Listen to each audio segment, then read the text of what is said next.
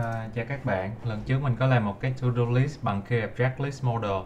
Các bạn hỏi mình là làm sao để lưu trạng thái của cái list này xuống file và load ngược lên lại. À, Bữa nay mình video này mình sẽ hướng dẫn làm chuyện đó. Thì à, để làm được thì mình cần hai bước đó là mình serialize cái state của cái app của mình à, xuống file và sau đó mình deserialize để load ngược cái file ờ, này thành cái state của mình. À, thì dễ nhất là mình dùng JSON. À, JSON là một cái định dạng rất là phổ biến để làm web. À, nó là định dạng mà người đọc được một cái text file thôi. Và nó lưu data ở dạng là key value. Key thì luôn là string. Còn value thì có thể là integer boolean string hay là một cái json object một cái json, JSON array nào đó à, liên tục. Ờ, uh, Qt thì support cái JSON này tận răng luôn bằng cách là cung cấp uh, tất cả những cái hàm liên quan để mà mình có thể serialize và deserialize uh, uh, uh, từ uh, từ JSON. Uh, bây giờ mình uh, sẽ dựa trên cái nền cái app cũ của mình để uh, mình viết tiếp cái đoạn uh, load và xây cái uh, file JSON này à, đầu tiên thì mình muốn là làm cái đường dẫn tới cái file của mình. Cái đường dẫn đó mình sẽ để ở trong cái à, uh, QML component to, to do model của mình luôn. Cái đường dẫn đó mình để tên là input file đi. À, tên là save file.json rồi à, bây giờ cái input file này thì nó chưa có tồn tại ở bên uh, C cộng cộng của mình đâu. Mình phải qua bên uh, cái to do model class của mình á mình thêm vào thêm vô bằng q property.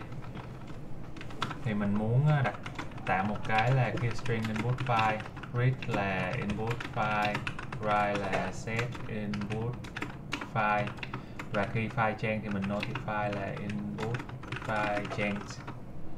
À, để lưu cái à, để lưu cái key property này á, thì mình sẽ dùng một sử dụng một cái biến nội bộ tên là key string private uh, input file. À, bây giờ mình sẽ implement actually mình có implement sẵn cái signal input file chain rồi nè. Bây giờ mình sẽ implement hai cái còn lại là read và write. Uh, read và write. Uh, yeah, hàm read nè string input file return một cái uh, const. Thì mình sẽ return cái biến nội bộ của mình là b input file. Rồi một cái hàm set uh, input file nhận vô là một cái string constant uh, input file. Như mọi khi thì mình sẽ kiểm tra là cái private uh, input file của mình có đang giống cái input file không. Uh, nếu mà giống thì mình return mình chả phải làm gì cả. Còn nếu mà khác á nếu mà khác á, thì mình sẽ set cái big input file này của mình bằng input file cũng như là mình uh, emit báo cho kia biết là input file đã đổi. Ok bây giờ thì uh, khi mà bên uh, QML á, set cái uh, set cái nội dung của input file là set file.json á thì cái hàm set input file này, này của mình sẽ được gọi nè. Thì mình muốn ngay lúc này luôn là mình sẽ load cái to do list model của mình from input file. Ok mình viết trước cái hàm này nhé. À, thì cái hàm này thì mình chỉ muốn là dùng nội bộ ở trong cái class to do model của mình thôi nên mình sẽ khai báo nó ở phần à, private. À, thì cái hàm này sẽ làm gì?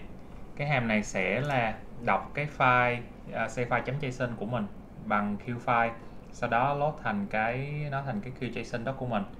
Và trong cái QJSON đó của mình này của mình á thì mình sẽ đi tìm cái QJSON array tên là to do list. Và trong QJSON array to do list này nó sẽ chứa cái QJSON object uh, chứa cái to do item của mình bao gồm hai cái ờ, trường là nội dung và trạng thái. Ok bây giờ mình ờ, tạo một cái queue file tên là ờ, uh, uh, load document đi. Uh, file này thì uh, cái constructor của nó mình chỉ cần bỏ vô cái đường dẫn thôi là được. Bây giờ mình sẽ muốn uh, open cái file này với cái mode đó là read only. Thì uh, có khả năng là mình sẽ mở cái file này không được nên mình sẽ kiểm tra là mình có mở được không. Nếu mà mình à, mở không được thì mình không làm gì cả. À, mình rồi mình báo lỗi là group not uh, open file thôi something like that. Rồi mình return luôn. Còn nếu mà mở được rồi á thì mình sẽ lấy hết data của nó ra bằng cái read on này hàm read on thì cái data read on này á nó sẽ trả về cho mình một cái queue by array mình gọi nó là uh, file content đi ha rồi bây giờ thì mình sẽ muốn tạo một cái QJSON document. À, tên tên là cái ờ, save file document đi. Bằng cái ờ, uh, queue document hàm static form JSON này thì cái hàm form JSON này nó nhận uh, một cái byte array. Và nó còn có thêm một cái callback handler là pass error. Để khi mà cái cái cái JSON này mà pass không được đó, thì nó sẽ call gì đây? À, nhưng mà cái ga này ờ, để đơn giản thì mình ờ, không có implement cái callback handler ha. Nhưng mà lúc thực tế mà nếu mà dùng ờ, à, thì thì mình nên implement cái đó để xử lý file lỗi. Ok bây giờ có cái queue JSON document rồi á thì mình muốn uh, lấy cái root object level của nó uh, bằng cách là lấy save file doc uh, dạng queue JSON document nè. Mình lấy cái object của nó ra. Thì cái root object này á tức là cái object mà cùng chỗ này nè ở trong cái file. Bây giờ mình sẽ làm một cái chuyện là mình à, kiểm tra coi cái root object này của mình có content cái to do list không? Cái cái cái key to do list không? Rồi mình kiểm tra thêm á là cái root object của mình ờ, ờ, uh, uh, to do list á, nó có phải là array không? Uh, nếu mà nó không phải là array á hoặc cũng không có to do list này á thì mình không làm gì cả.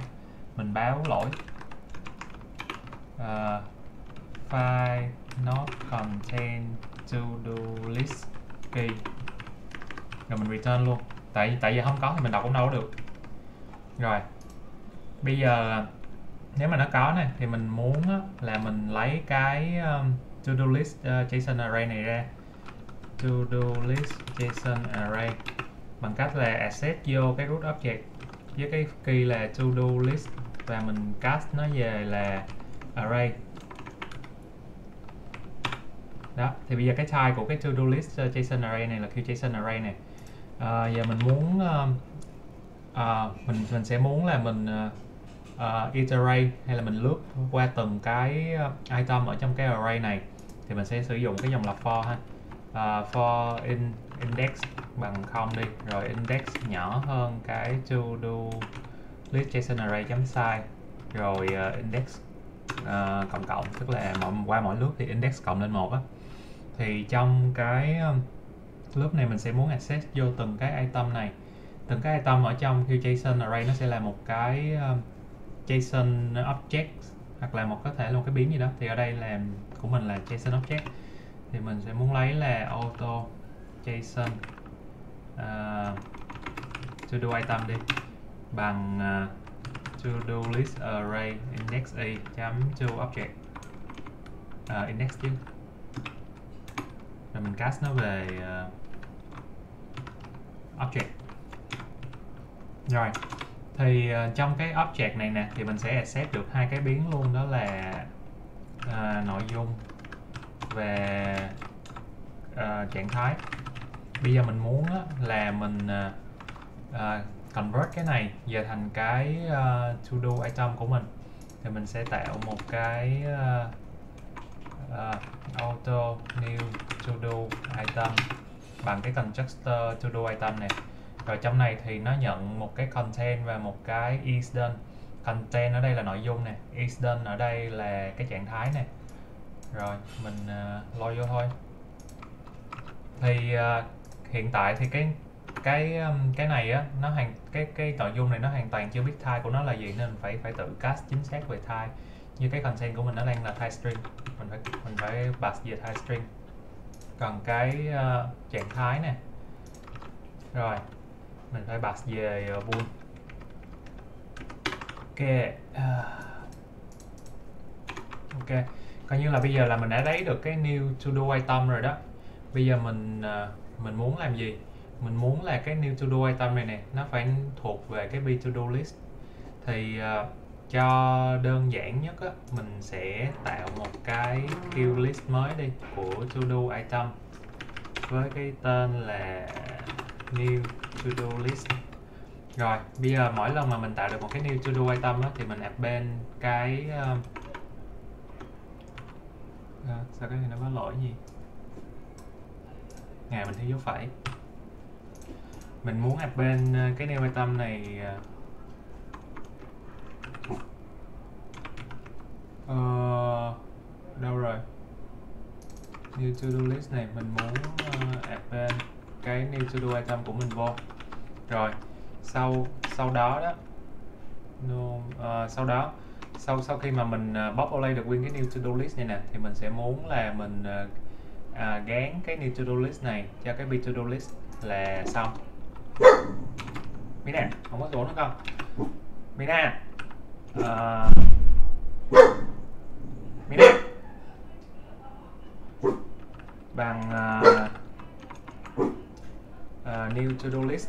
À, nhưng mà nếu nếu mà chỉ làm như vậy thôi á, thì QML nó sẽ không biết được là uh, cái cái mô cái data của cái model của mình nó đã được đổi nên là bây giờ mình cần làm thêm một bước đó là mình báo với email của Kitty đó là cái model được đổi bằng cách là mình gửi hai cái signal. Uh, signal đầu tiên đó là begin reset model. À, là trước khi mình reset này rồi cái uh, signal thứ hai đó là end reset model. Thì khi mà thêm hai cái signal này vô thì QML nó sẽ biết. QML nó nó sẽ biết là ok cái model đã được đổi bây giờ tao sẽ render lại cái model này với cái data mới. Rồi à, như vậy là mình đã có thể load cái uh, load load cái uh, data từ cái file save file chấm uh, json vô trong uh, QML và để tạo thành cái to do list model của mình. À, vấn đề là cái save file json này là mình đang ghi ở dạng là relative path. Mình đang ghi ở dạng là relative path nên nên nên bây giờ mình cần phải tìm hiểu là ok nếu mà relative path như vậy á, thì um, để ra được absolute path á, uh, absolute path. Absolute path thì thằng Q, Qt nó phải lấy thêm một cái working directory rồi nó cộng thêm cái relative path của mình thì nó mới access được uh, cái file trên uh, trên disk. Thì cái working directory này nè nó chính là cái build directory của mình. Nó chính là cái build directory của mình ở đây. Thì hiện tại ở đây mình đã có sẵn tạo sẵn một cái file save file.json với nội dung như vậy ha. Rồi mình ghi là hello các bạn đi. Rồi bây giờ thì ờ, mình sẽ chạy thử để coi nó có load lên luôn không.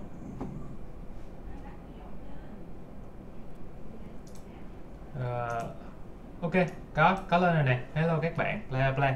Rồi bây giờ thì mình đã làm được cái cái ờ, một chiều rồi đó là cái chiều mà đọc từ cái file json và load lên cái ờ, và load lên cái ờ, cái QML model của mình. Bây giờ mình sẽ làm tiếp một cái chiều á là lưu cái này xuống lại file. Thì để cho dễ thì mình sẽ thêm một cái nút save ở đây ha. Uh, mình qua chỗ row header của mình này mình thêm một cái nút uh, tên là tên là save rồi khi mà mình on click á, thì mình muốn là uh, cái my model này của mình nó gọi về một cái hàm là say uh, to do list model to file rồi bây giờ mình sẽ implement cái hàm này. Thì cái hàm này mình muốn mà nó gọi được ở bên QML á, thì như lần trước mình mình đã hướng dẫn thì mình phải thêm một cái ờ, macro là QInvocable này. QInvocable uh, ờ, tên hàm rồi. Thì ờ, cái hàm này nó làm gì? Cái hàm này là nó sẽ ghi ghi nội dung ờ, JSON vô trong cái file J, J, ờ, save file.json á. Thì bước đầu tiên mình cũng làm tương tự luôn. Đó là mình phải mở cái file đó lên trước. À, mình mở cái file bằng cách là mình load cái input file. Cái này mình ghi là save doc đi. Save doc. Rồi cái này là mình đang muốn ghi vô file đúng không? Thì mình sẽ để cái mode là write only và mình thêm một cái cờ nữa là truncate cái cờ truncate này để làm gì? Là để mỗi khi mình ghi á, nó sẽ tự động xóa hết tất cả nội dung của file và ghi lại để tránh cho mình uh, uh, ghi lỗi. Rồi bây giờ sau khi mình có một cái cái queue file rồi nè cái cái tiếp theo mình muốn làm đó đó là mình tạo một cái ờ, uh, queue json root label trước nhé. Queue json object mình gọi là root object đi. Rồi sau đó mình tạo thêm một cái queue JSON array mình gọi là to do list uh, array đi. Bây giờ mình sẽ muốn là mình populate cái to do list array này bằng data của cái ờ, uh, big to do list của mình. Thì mình cũng tạo một cái vòng lặp uh, in index bằng không. Rồi uh, index nó sẽ chạy cho đến khi index nhỏ uh, uh, chạy tới khi là nhỏ hơn cái to do list chấm size này. Rồi mỗi lần là index uh, cộng 1 lên. Rồi à, thì trong trong cái vòng lặp này á mình sẽ tạo uh, một cái queue JSON object con tên là uh, to do item JSON thì cái to do item JSON này nó sẽ có hai trường đó là nội dung nè và to do item JSON trường là trạng thái. Thì cái nội dung á, sẽ bằng cái be to do list ở index uh, nội dung là content còn cái trạng thái bằng be to do list ở index. Nội dung của mình là is done. Rồi. Thì uh, thì coi như là mình đã tạo được một cái JSON object uh, tượng trưng cho cái to do item của mình. Bây giờ thì mình sẽ assign append cái um, item này vô cái to do list array của mình. To do list array chấm append này to do item chấm json. Rồi coi như là mình đã populate được cái cái to do list uh, array rồi đó. Thì bây giờ cái root object của mình á cái uh, to do list array này á nó có tên là to do list. Thì mình assign uh, nó vô. Rồi đó.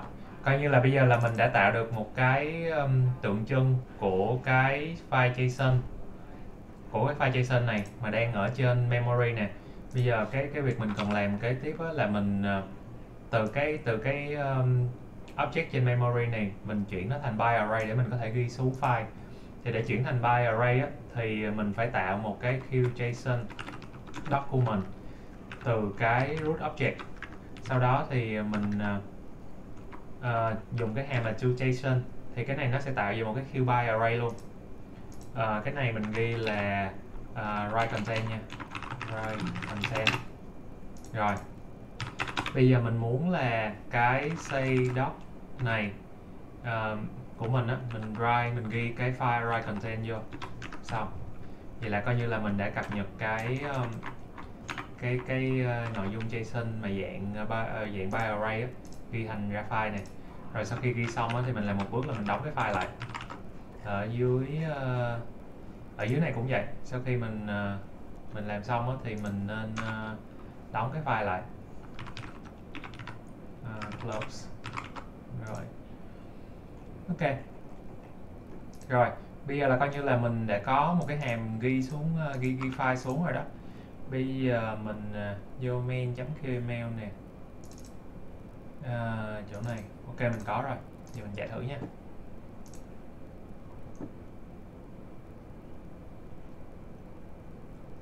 Rồi bây giờ thì uh, cái nội dung của cái save file JSON của mình nó đang là như này đúng không? Bây giờ mình à, thêm một cái item đi. Hello, các bạn lần nữa. À, rồi mình nắm xây này đó, nó được lưu về file này rồi bây giờ mình tắt cái app đi, mình load lại. Đó, nội dung đây vẫn được giữ ha. Rồi à, ví dụ mình xóa một cái item trên file đi. Xây rồi mình chạy lại. Đó, thì nó cũng load lên đúng luôn à, bây giờ còn có thể chỉ các bạn thêm một cái nữa là nhiều khi làm người dùng đâu có muốn bấm say đâu mà họ bấm tắt luôn đúng không? Thì ờ, khi mà bấm tắt này á thì cái thằng Windows ngoài cùng này nó sẽ nhận được một cái signal là on uh, on destroy. Uh, thì các bạn có thể ghi luôn cái uh, cái save này nè vô trong đây. Thì lúc này là trước khi nó tắt á nó sẽ được uh, à, nó nó sẽ được lưu lại. Mình thử nhé coi được không? À, không có nè. Coi có một cái gì đó liên quan không? On on on on on.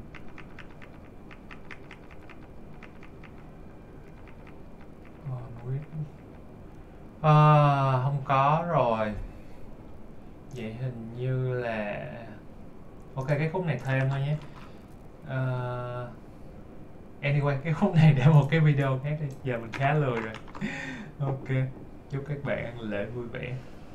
Vậy là qua video này mình đã hướng dẫn các bạn uh, lưu trạng thái của một cái app thông qua việc là dùng QJSON rồi à, túm cái váy lại là cái cái data mà các bạn muốn lưu xuống á nó phải uh, serialize được tức là nó nó là các dạng type cơ bản như là integer number rồi string hay là boolean uh, decimal các thứ. Còn mà các cái type mà liên quan đến um, đến function này kia thì nó nó sẽ không có serialize không có lưu được nhé. Ok nên đó là hết. Cảm ơn các bạn.